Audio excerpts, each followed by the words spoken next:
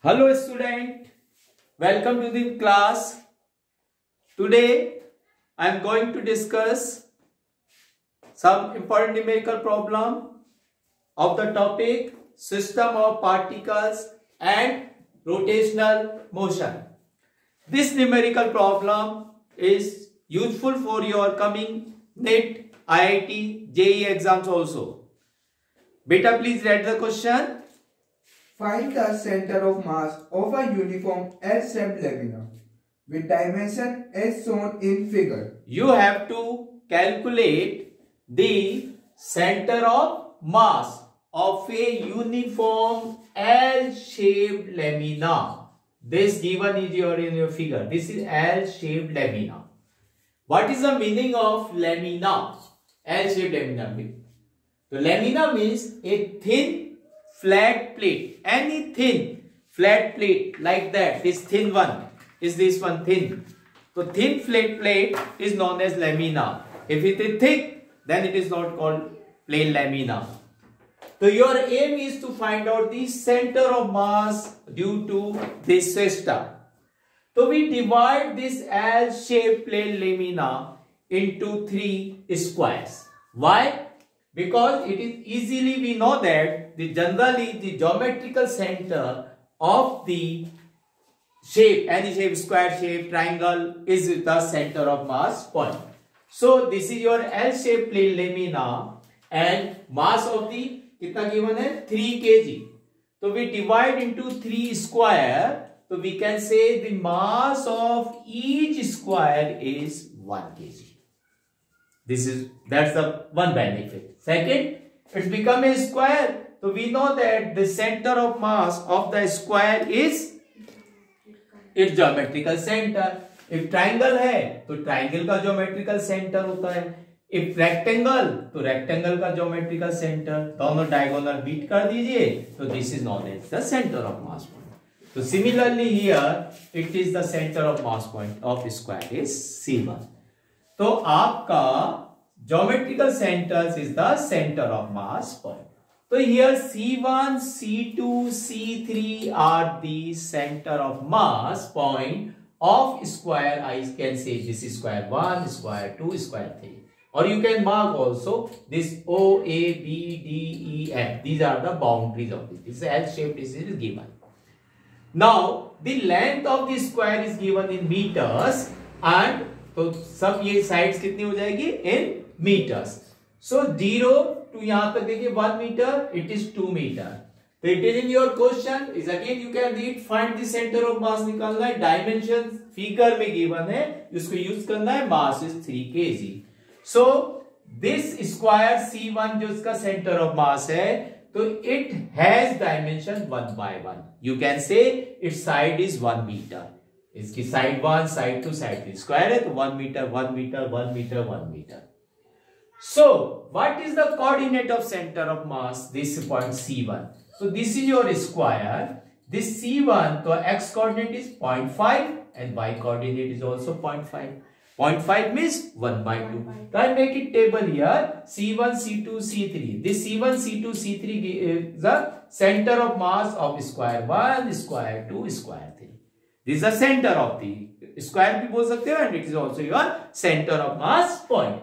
तो coordinate of C1 तो x coordinate comes out 0.5 y coordinate is also comes out 0.5 so I mark here x coordinate and y coordinate it is 1 by 2 and 1 by why we have calculate x and y because we know that the center of mass what is the formula to calculate center of mass RCM is equal to M one R one plus M two R two plus M three R three upon M one plus M two plus M three similarly X and Y है तो X M is equal to yes बोलिए। M one X one plus M two X two very good three X three upon M one plus M two plus M three and Y C M is equal to बेटा Y C M is equal to Y Y one M one plus Y two M two plus Y three M three plus upon M one plus M two plus M three Y C M is equal to M one Y one plus M two Y two plus M three Y three upon M one plus M two plus M three तो that's why we need the values of X one X two Y one Y two Y three so I have calculated here तो C one mean C one के coordinate आएँगे तो ये कहलाएँगे X one this is Y one तो similarly centre of mass point of square square you can mark this a b d or some say here i mark here say d dash like that. कोई भी point ले लीजिए या this square की बात कर रहा हूँ।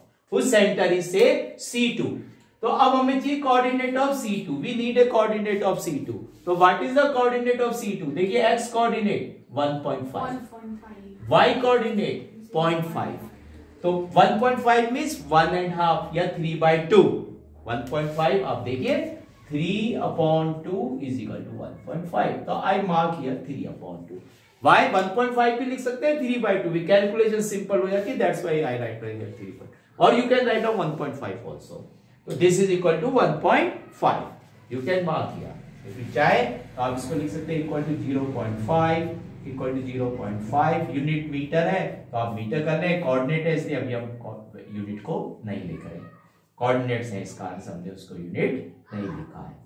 तो ये कितना हो जाएगा? 1.5 ये हो जाएगा 0.5 ये हो जाएगा 0.5 और ये हो जाएगा 1.5 इसको कैलकुलेट कर लेते हैं तो देखिए अब यहाँ पे तो C2 के कोऑर्डिनेट हो गए 1.5 और 0.5 समझ में आ गया? अब C3 पे आओ।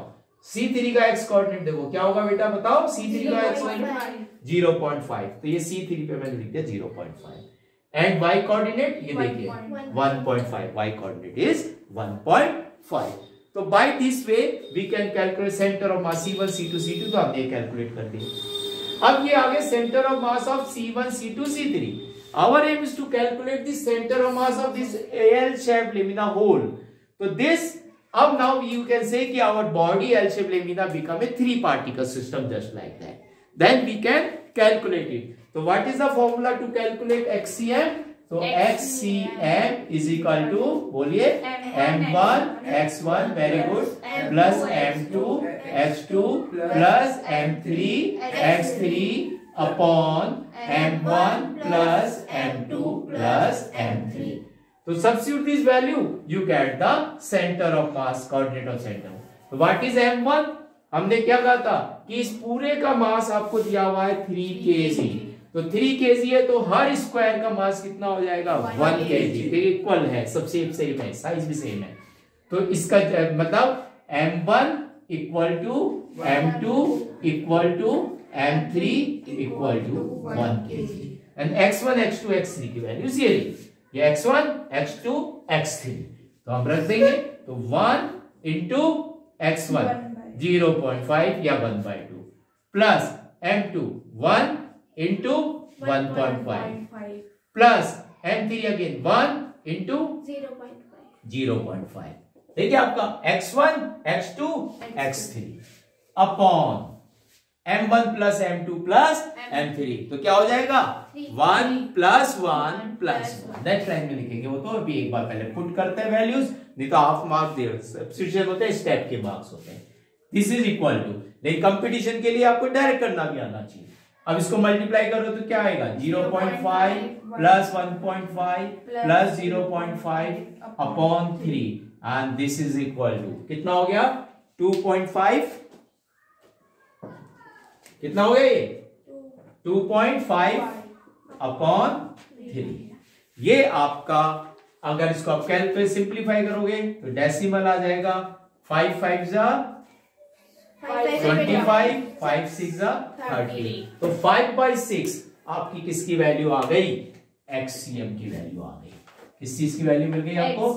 XCM is equal to five upon six और अगर यूनिट की बात करेंगे तो कोऑर्डिनेट है इसलिए वो बाकी यूनिट हो जाएगी metre similarly we have to calculate तो यहाँ पे आपको क्या लिखना है? आगे मीटर भी लिख दीजिए। तो ये कोऑर्डिनेट आ गए एक्सीएम आ गए ये मीटर आ गया राइट ये सब में यहाँ पे इन मीटर्स है ये। सब वैल्यूज़ किसमें है? In metres similarly what is the formula to calculate YCM yes बोलिए YCM equal to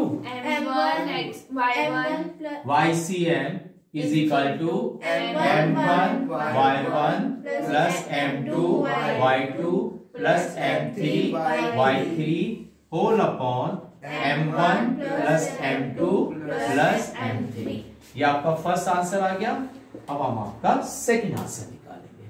तो अब हमें क्या करना है कि वैल्यू वही again put M one M two M three की वैल्यू तो क्या लिखेंगे हम सब? वन वन तो one into what is by one ये रहा ज़ीरो पॉइंट फाइव या वन बाई टू भी लिख सकते थे।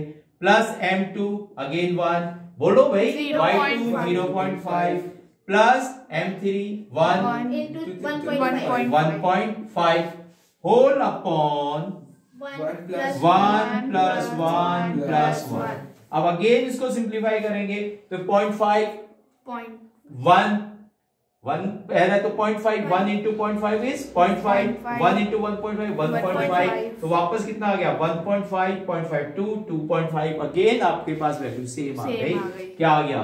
Two point five upon three this is equal to twenty five by thirty when you simplified it you will We get get it is 5 by 6 metre तो हमारे पास अब YCM भी आ गया। क्या आ गया YCM भी Five 5 by by 6 six metre तो हमारे पास सेंटर ऑफ़ मास कोऑर्डिनेट आ गए।